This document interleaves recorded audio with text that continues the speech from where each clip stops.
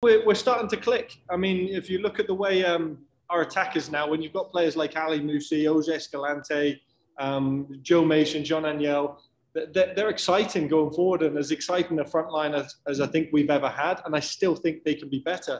And behind that now, you've uh, Elliot Simmons has come back in the side and he kind of gives us that little, you know, insurance as the, as the base of our midfield and protection in front of our back four who are doing a terrific job in front of Marco first half hour, you guys had all the possession, all the chances. Did you get a sense that the goal was coming? It was just a matter of time. We did because we had a few half chances. Um, you know, having been up here, you know, to watch them against Pacific, we knew they were going to be tough to break down, and we had to be patient, find pockets, and we knew after we had the second goal that they were going to throw something at us because they had caution to wind, and it was a case of just being able to suffer when we had to and uh, punish them, which we did. Uh, and I would like to have uh, had it a bit earlier in the second half, but no, I'm, I'm delighted with the lads. Um, the second goal should have been from the penalty spot. I don't know if you guys got a good look at the foul, but can you just talk about that free kick? You, you scored it anyway, so I guess it doesn't matter in the end. But uh, can you just give me your thoughts on that free kick? Listen, yes. uh, Ali Musse's having a terrific time right now, and uh, his first comments to me just said he was disappointed he didn't get a hat trick today. But you know, as we've seen, you know, I think the referees are trying to do their best and call what they see. I don't think he thought it was outside. It, it, it was inside. I saw it. Everyone else saw it. He didn't, and he's the main man. So we, we had to play to the whistle. We took the free kick instead, and that just shows the character that we're, we're trying to change as a culture and uh, just play play the bounces that you get. And uh, it was a great free kick. Eric, thanks, Tommy. Appreciate that. Eric. Next to Alexander. Hey, Tommy, I hope you're well. Uh, my connection's a bit dodgy, so apologies if I do cut out, but congrats on the victory. Just first one for me uh, Victor Loturi, Ali Musse, Elliot Simmons. They, they ran rampant in the, the midfield today. What was the key to their success uh, as part of a, a, new look back four? Yeah, do you know what? We worked on a few things, knowing that, that it'd be a 5 4 1 block. We knew that movements and playing off the shoulder was going to be important. And then when we had the penetrating pass, whether it came from Mason Trafford or Fraser or Bradley uh, Vliet, we thought um, they could turn. Victor's got quick hips, so's Ali Musse. And as soon as they they turned, now it was a 5v5. And I fancy our guys, uh, you know, run at them. And um, I mean, that one that Ali's gone through about three or four guys could have been goal of season contender. But uh, yeah, no, it was, a, it, was, it, was a, it was a good strategy. The boys stuck to the game plan. Um, and uh, yeah, I'm, I'm happy with them.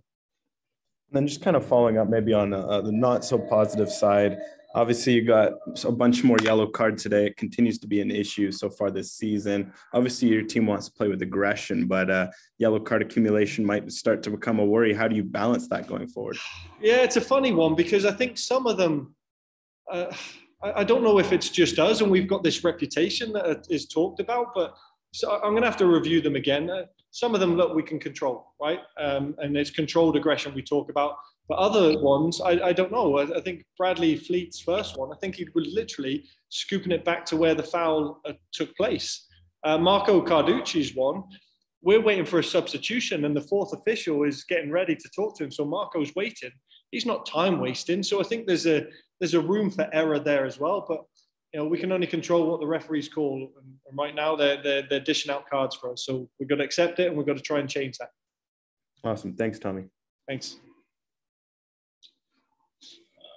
Mateus. Mateus. Hey, Tommy. Congrats on the win. Thank you. Just a couple of words about the second half. Uh, maybe you give up the, the, the position or it was um, and then I will Edmonton job. Oh, listen, I got to give Edmonton credit. You know, 2 0 is a funny scoreline. We played it with Pacific last week. It kind of gives that team a hope that one goal in, uh, you know, can turn around. But fortunately, we were resolute. We had to do the ugly stuff because it was windy here and it is tough. Even, you know, we were with the wind, so you, you, you got to keep it under control. They had it and they were, they were playing. So credit to them. They came out with a fight. They changed their formation, went more to a 4 4 4 2, put an extra man forward. You know, Tobias is a handful, and then uh, he had players playing off him I thought their midfield started to play more physical and direct. And, you know, like I said, we then had to adapt a little bit. So tactically, we put Dan Klomp and Fisk on um, to give us just an extra number behind the ball, just to weather it a little bit because we knew with the pace, whether it's Musse, Myer Bevan, or, or uh, Aribim Pepple, we knew we could catch them um, because they'd leave themselves open. And we did. Um, but yeah, it was, uh, it was just it's one of those games. You, you sometimes in this league you have to suffer a little bit, and we did it with uh, with, with good uh, spirit. I thought we did well today. Uh, great team performance. Um, it's just been uh, a case of uh, hard work. You know, we've been putting a lot of hard work in training, and and uh, the guys, I think the whole team deserved this win. Uh, and uh, your goal, it should have been a penalty, but you take the free kick and put it in the back of the net. Just can you talk us through what you, what you saw there? I guess throughout the whole play that when it, when it didn't wasn't a penalty, and then you kind of had to refocus and take the free kick. Yeah, I thought it was a pen at first. Uh, it looked like it was inside the box, but uh, uh, referee deemed it was a penalty, uh, free kick. So me and uh, Jose Escalante, we had a look, and I was just feeling it. I just went for it. Perfect. Appreciate that. Thanks for your time. Sure. Uh, Moses. Thanks there. Uh, again, uh, another strong performance, uh, continuing to uh, build Ali. Just kind of take me through and, just uh, a, a quick response to the last question too.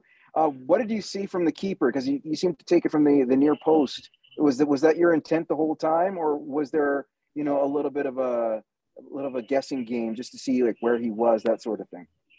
Yeah, no, the whole time I planned to go near post. Um, it was a tall wall to be fair, so I had to hit it quite well, and I felt like I hit it good enough with enough pace for the keeper not to react in time. And just this uh, strong run of form, uh, you couldn't do it any better. I know you're you, you had family up in the Edmonton area. I imagine they were there to watch, and, and you put on a performance. Yeah, no, I'm happy with the way I'm starting the season. You know, I've been patient. Uh, last year it was unfortunate I was injured for a long period of time, but I came back with a lot of hunger and to do it in front of family and, and to score a goal and to get a win is uh, it's, it's, it's amazing. And just a final one for me, just on that note, um, was there any family members or anybody else out there that uh, that kind of I don't know if you necessarily play for, but just uh, you know, you seem like a, a, guy who's very grounded, family a family guy. Just kind of take me through. Uh, are there those in the in the stands that you were kind of like, I'm going to get a goal for them and see what happens, that sort of thing? Yeah, my little brother was there today, so you know, if I was to dedicate anything, I'll dedicate that goal to him. Um, yeah, I had some really close friends there as well, so it's really nice to uh, score and uh, get a win in front of them for sure. Thanks a lot, Ali. Appreciate it, and uh, keep the train going with the goals, man. Thank you. Appreciate it. Alexander. Hey, Ali, uh, just one from me. Congrats, obviously, on, on, the goal and the win. I just wanted to ask you about what it was like playing with Elliot uh, and Victor today in, in a midfield trio. You guys seem to have great understanding, and uh, it allowed you to pick uh, what has been a solid Edmonton midfield block, especially at home. Yeah, I think they just make my job easier, really. They're very good players, quality on the ball, and they're very organized as well. So they organize me defensively and allow me to uh, attack and find me in pockets. Uh, I thought they were, I thought they played very well today. Cavalry deserved to win the game. Uh, I think they, uh, over the course of the 90 minutes, were the, the better team. Uh, I think they came out with more intensity than we came out with. Uh, and in a derby, as young as we are, uh, you have to come out with that intensity. You have to be ready to play from the first minute until the last minutes. And I was pleased with our response in the second half. We challenged the guys a little bit at a half time. We got a positive response, uh, but that obviously doesn't impact uh, the result tonight. Yeah, what what what changed? Was it just effort, or did you guys change something else in the second half? Because you guys had the ball more, you created more chances, and with a bit of luck, you, you would have probably worked your way back in that game. Yeah, we deserve to get something out of the second 45 minutes. I thought we were probably the better team in the second 45 minutes, but the game's over 90 plus minutes. Uh, so Cavalry obviously got most of the work done that they needed to in the first 45 minutes. Uh, to be honest, I think it a little bit might have been a little bit of naivety. Uh, we're young. Uh, a lot of the guys don't really know what it's like to play in a game like this. Uh, Cavalry have all sorts of experience all over the place. The most experienced player that we could have had out tonight would have been Fraser Aird if we were still able to, to keep him.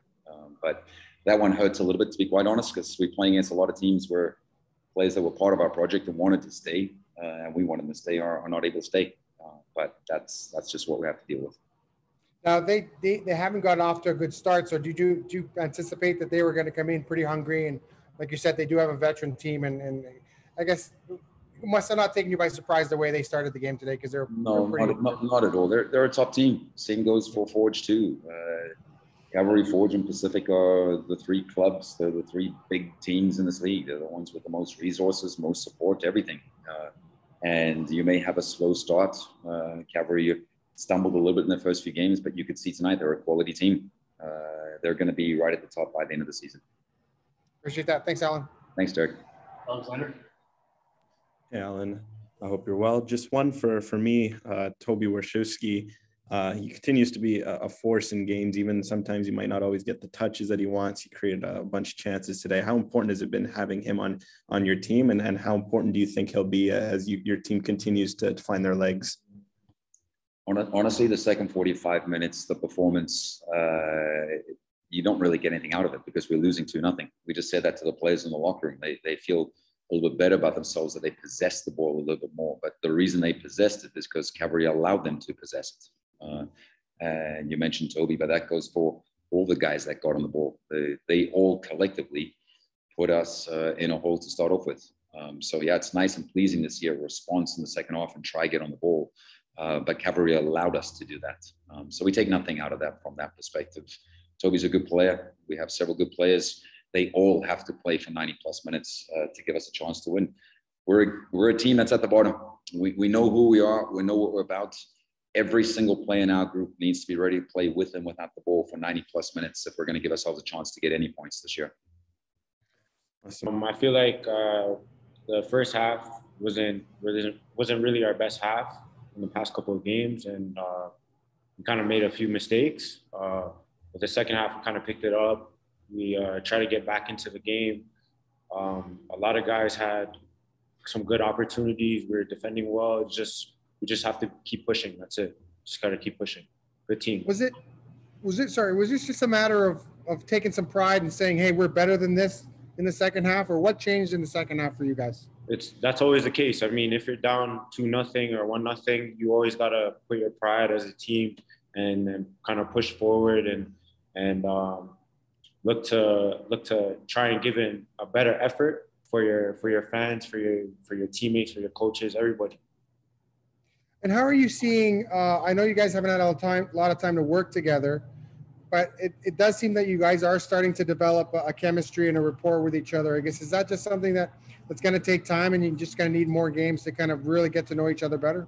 Yeah, it, it will take a little bit of time, but we're we're we're gelling a lot more than than we were at the start. And I mean, um, like you'll see you'll see like a lot of guys like do big things this year, and I I I completely believe in this group that that we'll we'll come together and we'll we'll we'll be the surprise group in the in the CPL too.